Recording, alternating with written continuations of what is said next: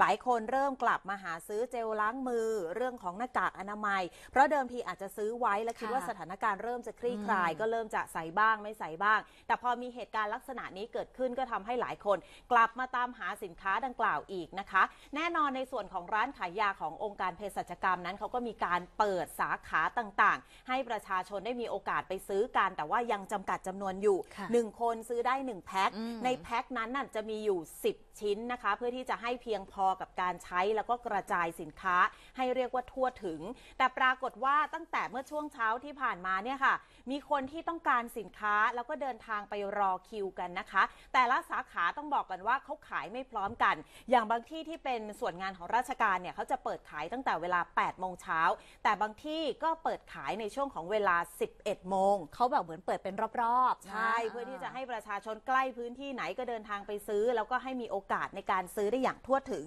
อย่างร้านที่ทีมข่าวไปเนี่ยค่ะเขาไปนะคะแล้วก็จะเปิดขายในเวลา 11 โมงเช้า เจ้าหน้าที่เขาเริ่มแจกคิว ตั้งแต่ช่วง 10 โมงครึ่ง แต่ว่าที่เห็นว่ามีแถวมารอกันอยู่เนี่ยนะคะเขามารอกันก่อนหน้านี้ 4-5 ชั่วโมงแล้ว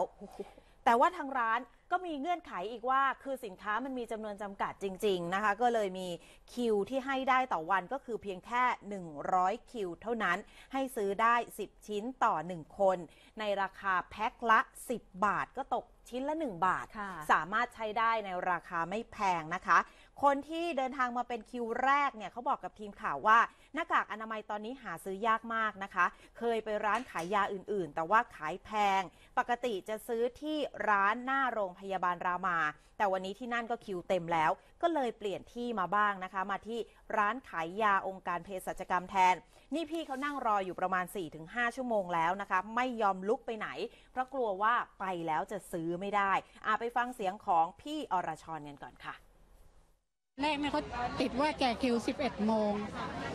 แล้วก็คอยก็คอย ปรากฏว่าก็เปลี่ยนใหม่มาแจกคิว 10 โมงครึ่ง ก็เลยคอยไปเลย คอยน้องก็เลยมาต่อกัน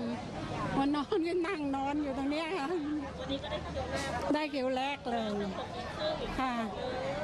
อืมหายากมากเลยค่ะเนี่ยซื้อนอกแผ่นละสิบห้านะคะแผ่นสิบห้าบาทามร้านขายยาก็ไม่มีค่ะไม่มีที่ไหนมีเลยนะก็เลยจำเป็นแล้วก็ใครบอกว่าโอ้ยเจอนั่งรอเป็นสามสี่ชั่วโมงบอกช่างมันเถอะ พื่อการป้องกันนะคะ ก็ไปรอเป็นเวลานาน 4-5 ชั่วโมง แต่ว่าแน่นอนอย่างที่บอกนะคะว่าเขาจำกัดสิทธิ์การซื้อต่อวันเนี่ยแค่ 100 คิวเท่านั้นก็เลยทำให้หลาย ๆ คนที่เดินทางมาถึงที่หลัง ขนาดพี่อรชรมาคิวแรกเนี่ยค่ะยังรอ 4-5 ชั่วโมงเลย บางคนเนี่ยเดินทางไปในช่วงเวลาที่ใกล้เปิดคิว ช่วงใกล้ 11 โมง ก็เลยทำให้พลาดสิทธิ์การซื้อไปนะคะ ก็เลยอยากให้ทางร้านขององค์การเภสัชกรรมเนี่ยเพิ่มสิทธิ์แล้วก็เพิ่มสินค้าให้ประชาชน มีโอกาสได้ซื้อเพิ่มเติมค่ะ ไปฟังความรู้สึกของประชาชนกันค่ะได้ที่หนึ่งร้อยพอดี แล้วก็พี่เขาต่อเป็นคนที่ร้อยหนึ่งก็เลยไม่ได้ หมดแค่หนึ่งร้อยพอดีจริงเราอยากให้มันคิวเยอะกว่านี้ไหมเพิ่มก็น่าจะเพิ่มเยอะนะคะ เพราะว่าก็สงสารคนที่รอข้างหลังเหมือนกันที่ไม่ได้อะเขาก็ยืนรอกันเหมือนกัน ยืนรอนานเหมือนกัน ก็ตอนนี้ ตอนนี้ก็ขาดตลาดอะค่ะ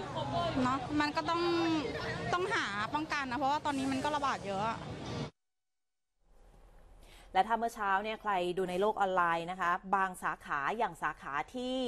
ศูนย์ราชการอะก็เข้าใจว่าเป็นศูนย์ราชการเนี่ยเขาจะมีการไปจองคิวกันก่อน ค่ะ แต่การจองคิวไม่ใช่บัตรคิวแบบที่เจ้าหน้าที่เขาให้เนี่ยนะคะเขาใช้ของซึ่งเป็นของของตัวเองไม่ว่าจะเป็นรองเท้ากระเป๋าอุปกรณ์อะไรที่ติดตัวกับเรามาเนี่ยวางจองกันไว้ ปกติภาพแบบเนี้ยจะเห็นตามโรงพยาบาลของรัฐค่ะตอนเช้าๆ เวลาที่แบบว่าต้องไปเข้าคิว เพื่อที่จะพบคุณหมอเขาก็ค่ะ จะใช้รองเท้าเนี่ยต่อกันไปอันนี้เป็นต่อคิวซื้อหน้ากากอนามัย ใช่ แต่ว่าคนมารอไม่ไหวก็เลยใช้อุปกรณ์อะไรไปวางต่อไว้ก่อน เพื่อที่เจ้าตัวเนี่ยจะได้เดินทางไปไหนได้ไปเข้าห้องน้ำอ่าไปทำกิจกรรมอย่างอื่นได้ หรือว่าช่วงของการรอเนี่ยนะคะ ก่อนที่เขาจะเปิดคิว ทางร้านขายยาเขาก็เลยมีการติดป้ายค่ะ บอกว่าอยากขอความร่วมมือสำหรับใครที่มารอซื้อหน้ากากอนามัยเนี่ยนะคะ ห้ามจองคิวด้วยสิ่งของ ไม่งั้นเนี่ยจะไม่ได้รับสิทธิ์ในการซื้อหน้ากากอนามัย ถามว่าทำไมคือจริง ๆ ก็ต้องยอมรับว่าก็ต้องให้ความเป็นธรรมกับคนที่เขารออยู่ในคิวค่ะบางคนเอาของจองไว้แล้วไปไหน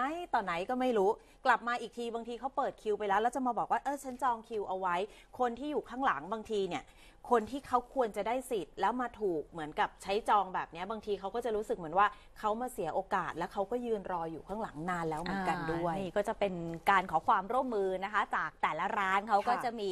ข้อกำหนดหรือว่ากฎเกณฑ์ที่แตกต่างกันออกไป แต่ว่าเดี๋ยวอีกหน่อยนะคะ ก็คงจะมีเพิ่มมากขึ้น เพราะตอนนี้ก็เร่งผลิตกันเต็มค่ะที่อยู่แล้วสำหรับหน้ากากอนามัยนะคะ